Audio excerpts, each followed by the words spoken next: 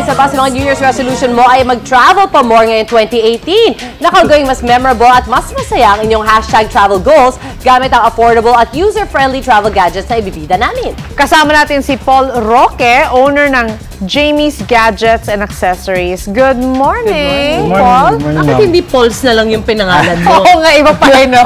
Sige, let's start with the right side. Ano mga yan? ano naman, ano? Affordable at user-friendly gadgets. Yep.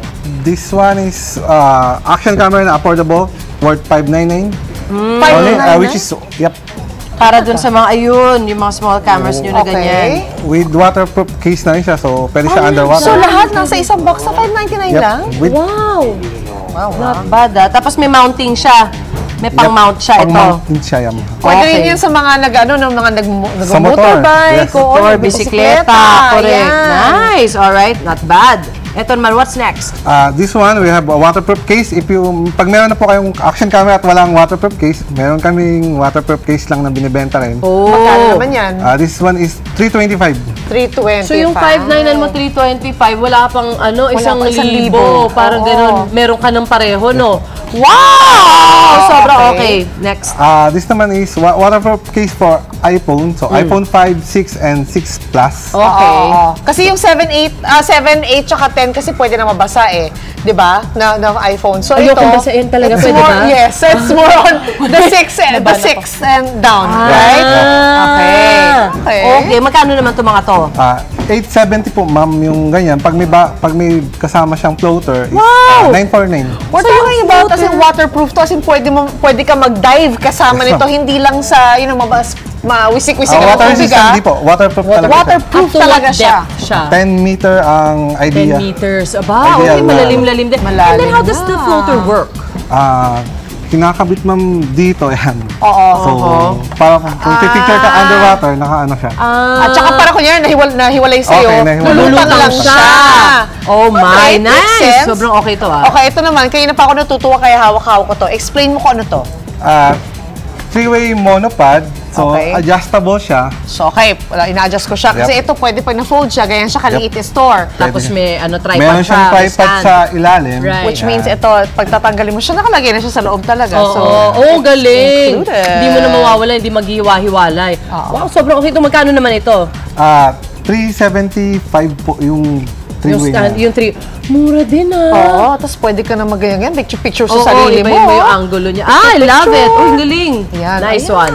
Ito naman, of course, medyo matagal-tagal natin nakita to. no? Ayan, Mukhang tripod. very useful ano pa rin to up to nowadays nagagamit. Yes. Ano naman ang nagagawa niyan? Ah, Gorilla Pad, so pwede mo siyang isabit sa mga Puno! Sa, sa puno talaga. Tama kaya siguro Puno pa yan. pinangalan ng gorilla. So, na gagano siya. Oo. May grip. Puno, may grip. Kumakapit. Oo, sa poles or sa upuan or whatever. Right.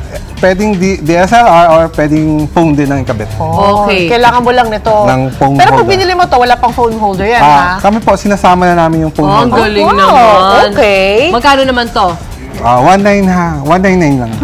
199. Pamura na talaga ng pamura. Okay, ito interesado ako kasi marami ngayon mahilig mag-vlog, di ba? Oo. Or mga vloggers, ganun. So, ito yung parang nauuso ngayon para kahit saan sila magpunta, eh, pwede Yes. silang magka-picture ng malayong malayo. Correct. Okay, let's talk about the drone. Ah, sa drone na meron kaming iba-ibang klaseng drone. Okay. Ah, may pinakamura. Pinakamura, oo. Ah, 1699. Okay. 1699. Ah, 2,000 o Okay. 100, 1,099 to, to 2,225. Okay, anong pinakamahal mo? Yun na lang, range Ito, natin. ang pinaka is 1799 and 1599. Okay, ano yung pinagkakaiba nila? Sa pinakamura, anong meron siya at anong wala? Ah, camera po niya ay 480p lang, Ah, yung baba. 720p. Parang Oo. resolution. Oo, Oo. ito Ah, 720p, yeah, and okay. This one naman po, yung medyo mahal is may remote siya, Ah, okay. then stable din, yes. Okay. Pwede rin, ah, and all the drone po is pwede sa Sa phone. Yep. Pero So- hindi ba lahat ito may remote? Hindi ba lahat ng drone ay may remote? Ito pong dalawa is wala. Cellphone lang talaga. So, ah, kasi you have a choice kung gusto mo mag-remote ka using the actual remote Ah, o or pwedeng from your phone, phone na lang. lang. Okay. Ah, pero hirap din, may phone kasi may ganyan-ganyan ka. So, better talaga. Yung If you have a phone, it's Oo, fine. that's Basta may true. app ka.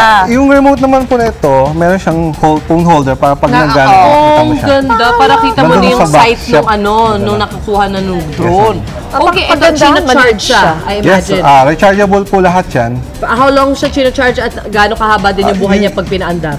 Ang flying time po usually is 6 to 8 minutes up to Okay. 10 minutes. Aha. Ah, charge po charging time niya is up to 1 to 2 hours. So maganda to Okay. para sa mga nag magsa-start pa lang. Tapos tingnan natin yung size, oh. Look at that. Oo, mas malaki pa yung Mas mali, mas malaki Oo, pa yung phone. correct, so depende correct. sa'yo kung maglalaro-laro ka lang or gusto mong magsanay. Yes. It's perfect Well, to go for the cheap ones. Short lang din naman yung recording time niya. So kung bago nyo siya gamitin, i-plan nyo na yung shot ninyo. Oo. Di ba? Pag wala, Oo. mauubos ka. Ito, hindi ko alam ano ba to. Ah, Siyang sta- barbell. sta- stabilizer siya. So, Okay. kung may D- DSLR ka, usually kasi pag nagka-camera ka is tumatakbo kang ganyan. Yes. Itong gamitin mo para steady lang siya pag nagbi-video. Parang gimp. Ah. Y- yan ba yun? Ah, parang ganun. So ganyan, nagsisteady talaga siya? Yes, ah, ma'am, ah, kailangan lang talagang ikabit ng tama yung, di- di- yung, yung Yung camera. camera. Yes, ah, oo. Okay, kasi naman you yung have to ganyan? balance it pa, Oo. di ba? 799 po. Not bad. All right. And then the last one over there. Ano to? Is the ah, lantern ma'am with, uh, pwede ka rin mag-charge ng phone. Okay. At, Solar. Oh, wow! Okay. Liwanag ah. Uy, pwede to sa camping-camping. Oo. At the same time is flashlight siya. Flashlight Ano? din. Nice. Uy, oh, useful yan. to. Ah. Magkano naman yung ganyan? Ah, 149 lang ma'am. Pwede to sa mga go-bag-go-bag natin, di ba? Gano'ng katagal mo siya dapat sino-charge? Or nadidiskarga ba siya pag matagal siya hindi nagagamit? Ah, for my experience, hindi naman po na-discard kasi... So pag like, uh, fully charged siya, medyo ano stored siya. Pag binuksan mo, may ilaw pa Yes, din. ma'am. Ah, baka maganda at mura. Yes po. Oy, Paul, maraming pwede salamat, na. Suke, sa uulitin. Kasama ko yung mga gadgets. Maraming salamat, Paul Roque. Tsak na mas magiging memorable ang inyong trips gamit ang affordable travel gadgets na mga ito. Oh, yes. Ganyan, mali pa tayo sa ating unang balita. Galing nito, ah.